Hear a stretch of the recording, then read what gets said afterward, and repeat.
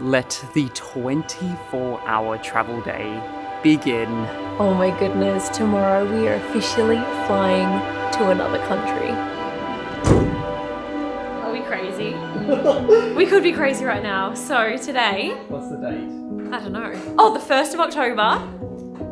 The Prime Minister, you're gonna do some baking. The Prime Minister of Australia just announced And today we are taking another step forward, a very important step forward.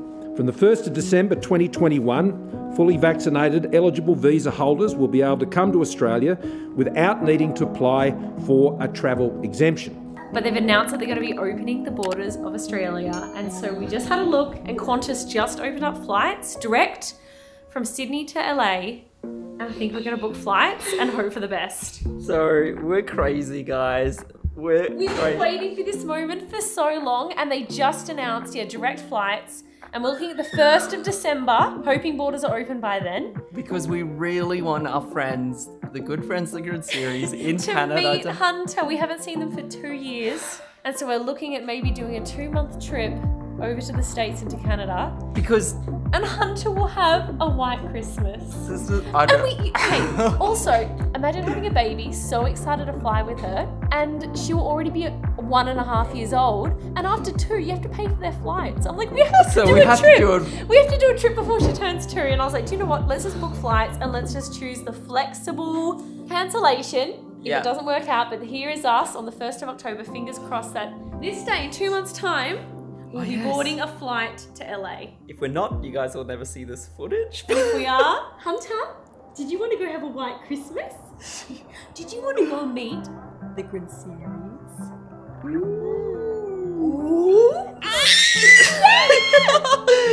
All right, guys, we're doing it. Wow, Click these. it! Click the button! We haven't- tell him. So, Dad, click that button. We haven't booked flights in so long, but these are the most expensive flights we've ever booked. It's gotta be worth it though. This is all. It's called evening it out from not flying for the last two years. Exactly. Hunter, we're going on a holiday. Hunter, we're going on a holiday. It's also her nap time. We've been trying to entertain her. Okay. Oh, okay. Say, see you on the plane. Alright, click your fingers and we'll see you in exactly two months if it happens. Well, Hunter's gonna look bigger. Bye! Okay, one, See you in two, three, months. click. So, tonight's actually our last night inside Cooper the van. Last night we stayed at the most beautiful little campground, but um, it was quite a mission getting in, and I'm not even sure if Cooper's gonna get out.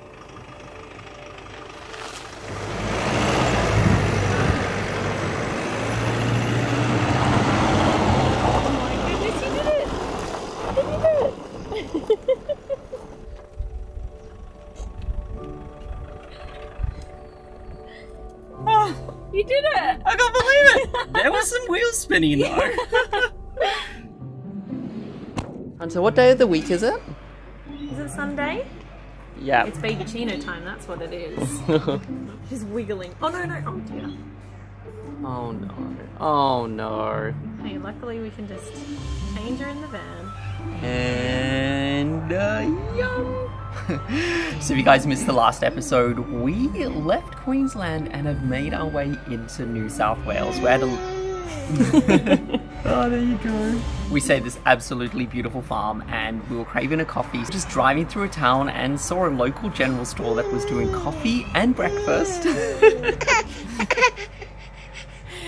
I'm just glad we stopped. We couldn't resist. Look at this. the size of your it's bigger than your head.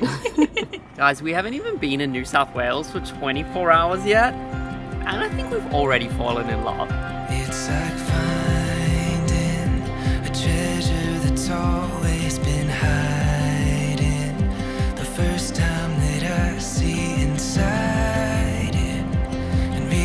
Oh this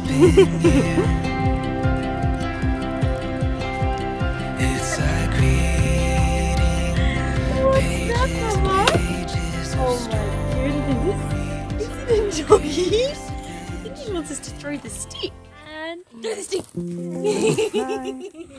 Here he comes back. Hey, Bobby. Does Hunter want to throw the stick? Do you want to throw the stick, Hunter? You ready? Oh, ready? Hold the stick and throw the stick. Throw it. oh my gosh, Hunter picked up a little stick. Yes, picked up a little stick. And you got a stick. After five hours of driving, we have arrived on a little riverbank in Port Macquarie and we are staying on a farm. So they have dogs, they have cows, they have chickens, they have guinea pigs. I think Hunter is going to have the best afternoon. You ready, Hunter? And throw the stick. Go like this. Ooh.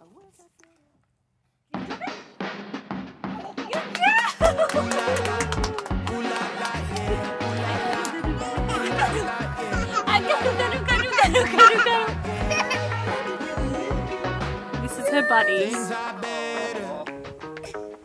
you're with me. I when you're around. If you go to the schnoz, the schnoz might give you. Are you giving cuddles? Give cuddles. Oh my goodness.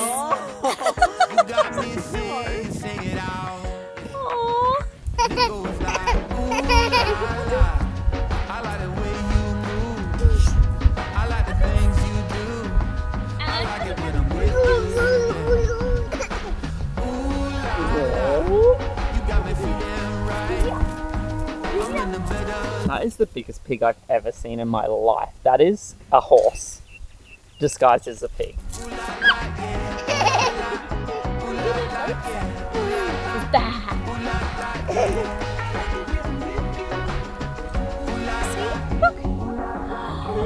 It's a baby bunny. Be gentle, remember?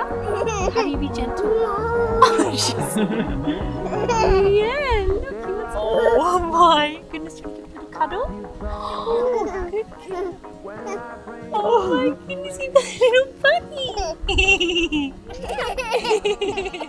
So, if you're new around here, we honestly haven't always just traveled around Australia. For the last five years, we have taken you all around the world. We've hiked to Machu Picchu, we've seen the pyramids of Egypt, and we've even flown in hot air balloons over Turkey.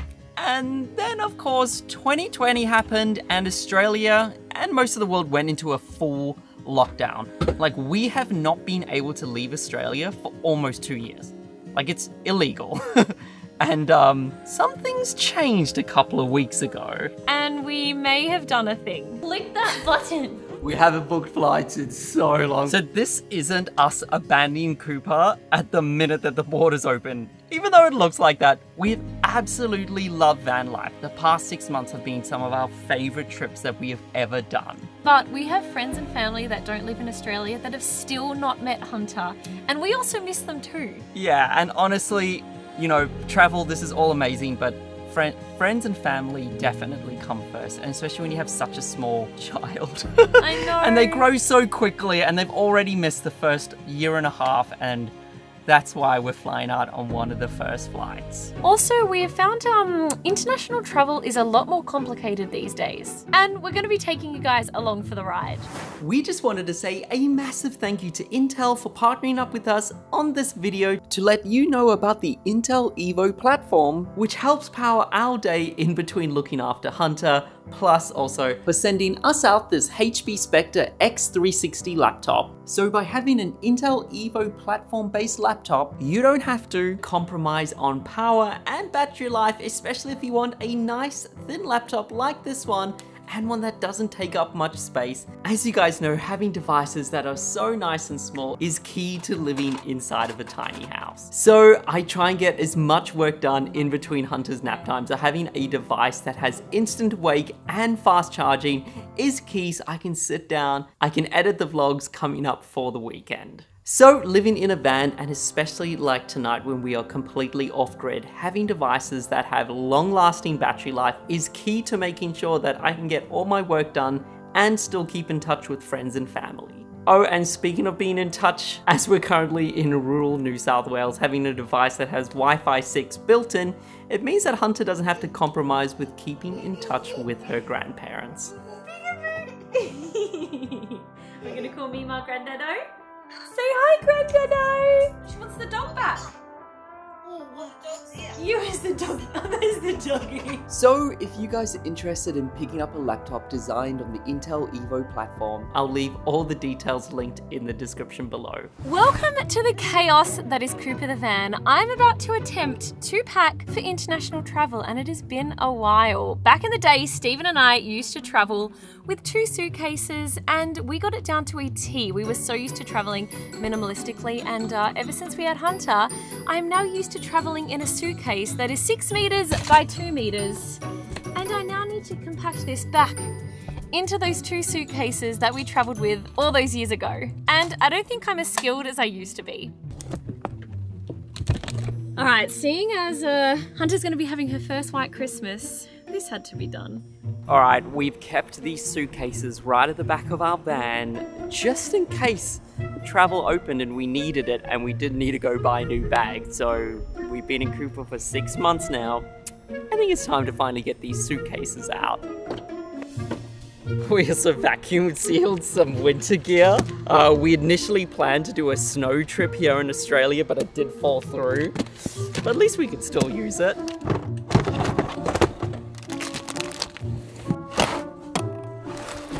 This is exciting.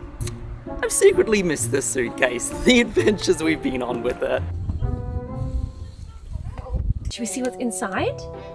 What's inside this? Should we knock on it? What's inside? Should I open it? We you grab your pig? Grab your pig. And Hunter, what does a pig say? That's her trying to go. She goes. oh my gosh, I forgot. It's a bag within a bag. We got too many bags. Um.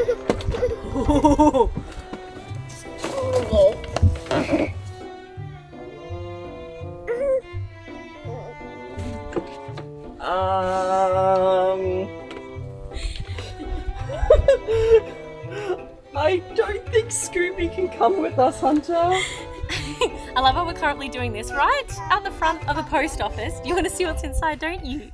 So we just got a bunch of things shipped to the post office. Stevie just picked it all up. She was like, "You've been shopping." He was like, "My wife's been shopping," but I had to because Hunter has no snowsuits. Do you? Do you want to look see what's inside? Yeah. Okay. this is realities of trying to. She's in a cuddly mood. Side Hunter. Gosh, it's gonna be so cute, Steve. Seeing her engagement with this, I can't wait for Christmas. I know. Well, this is her Christmas present. we are not getting her presents after this. It's like we had to get her a whole new wardrobe. God, this is adorable. Look at her snowsuit. Oh my gosh, Steve. Hunter, look, this is gonna be your little snowsuit, and you're gonna run around and play in the snow in it. Calm before the storm. Wait, it's the storm before the calm.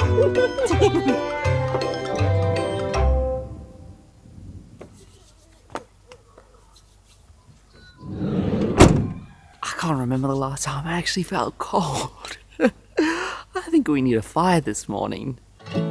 You steal my breath, I get choked up. You see right through. I'm such a mess, made for your love. I fold into you. In your arms, it's only just us two. Every time I close my eyes, I'm dreaming of you, babe. The way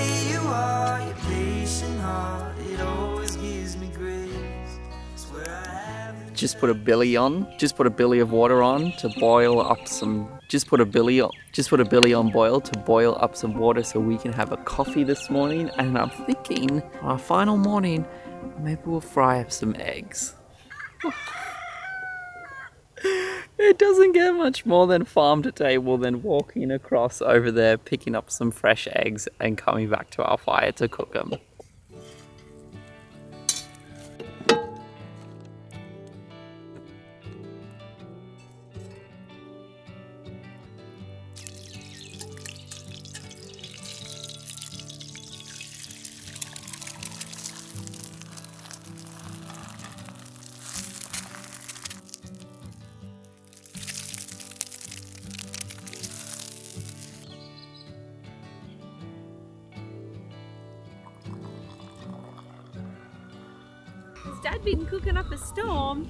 Breakfast is ready. Is your doggy here? Oh, I think he wants us to throw the stick. See? I've got the stick. I got the stick. I got the stick. I got the stick. good morning, sweeties. You say good morning to them? They want to cuddle. what a place to have our final morning in the van. This is so nice. So nice. I got your coffee.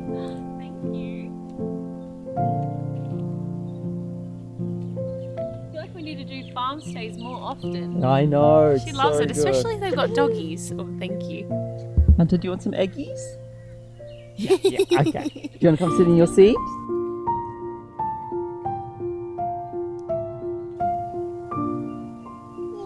Oh, someone's looking at the turkey. Someone got the chickens in. In, Hunter. Watch out, chickens are coming in. Chickens. what are the chickens saying? Are they saying bok, bok, bok, bok, bok? They're saying bok, bok, bok, bok, bok. And throw. And throw. She's just eating the bread.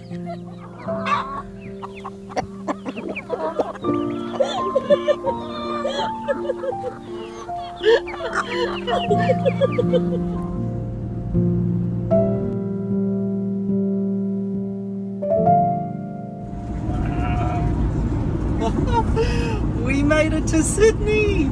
Cooper's on the Harbour Bridge. Oh, there's the Opera House. I feel like such a tourist in our own country right now. This is so cool. Wow. Welcome to Sydney, everyone. We have one full day here and we still have so much to do. But of course, coming to the city, you can't miss out checking out the Harbour Bridge and the Opera House. Plus, this is Hunter's first time in the city, so we've got to show her all the sights. Once a jolly swagman camped by a billabong under the shade of a coolabah tree. And he sang as he watched and waited till his billy boiled. You come a waltzing Matilda with me. Waltzing Matilda, Matilda, my darling. You'll come a waltzing Matilda with me. And he sang as he watched and waited till his billy boiled. Ah, helicopter. So, travel, as we all expected, has completely changed. Going overseas is a little bit more complicated. There's a few steps. First one, we have to go and get a PCR test, and it has to test negative. So we're just heading to the airport to get one done. Hunter, what does the train do? Choo choo!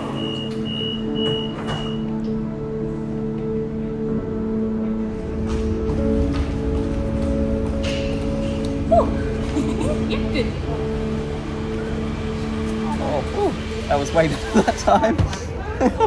if you guys are wondering, it's about 180 bucks a month to store Cooper, which is a lot, but also compared to the airport, it's airport was something like $700 a month. So this is a little bit outside of the city, but it should definitely do the job, especially um, to keep us going till next year. I think last night, because we were staying on the farm, and the get into the city was way more crazy than we thought. Cooper's a little bit messy, but you know what? That's just a future Stephen and Jess problem to deal with. Not goodbye to Cooper. Just see you next time. All right. Firstly, please don't ask me. I knew this was going to happen. So please don't ask me why. Yes, do you want some sticker books? Don't ask me why our room has gotten so messy in the matter of a day or two. I have no idea and I need to pack. And uh, in our last video, we were sharing with you our nighttime routine and I warned you all about the witching hour. I feel like you didn't really get the witching hour in that video, but right now, um, welcome to the witching hour. It is the hour before Hunter goes to bed and uh, is always the yeah, you want more. Okay. That's so we've taught her a little sign. So this is more. And she wants more sticker book, but the issue is, Hunter, you've used up all the stickers. yeah, you're not on a bed. She just falls back. Who's that on the jumper? Ready? Can you say ho ho ho? Merry Christmas! The Christmas jumper. If you guys were wondering, It's actually super easy to get your PCR test. So of course, when you're flying overseas, if you're Australian, need to be double vaxxed and you need to make sure that you get a negative test 72 hours before your flight. Now, in Sydney, which currently is the only place you can leave Australia from, literally as you pull up into the airport, there's just a testing facility there. You can get a test that is turned around in one hour.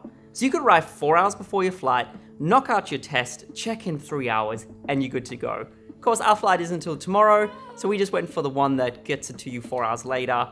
It just sounded kind of scary getting it done so quick. I do trust them, but I don't know. First time you're doing it. Maybe we wanted to be a bit more cautious.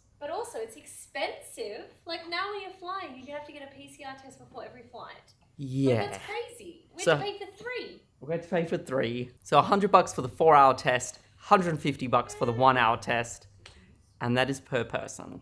As speaking of a test, just got our results back in. That was a scary text message. What is it? Negative. All three? All three. Yay! Oh my goodness, that means it's official. I was trying to not get my hopes up just in case.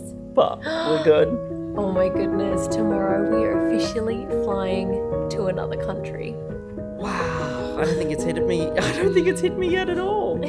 That's crazy. I think it just happened so quickly from the press conference to booking it. It just was a lightning in a bottle. Oh my goodness, Hunter. Hello. Hunter, you don't even know what's gonna hit you. Hunter, you need to go to bed. It's jet lag. It's Oh, jet lag. Jet lag.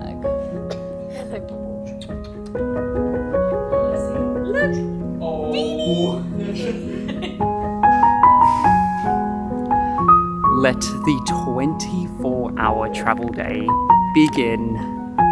Alrighty, guys, next up is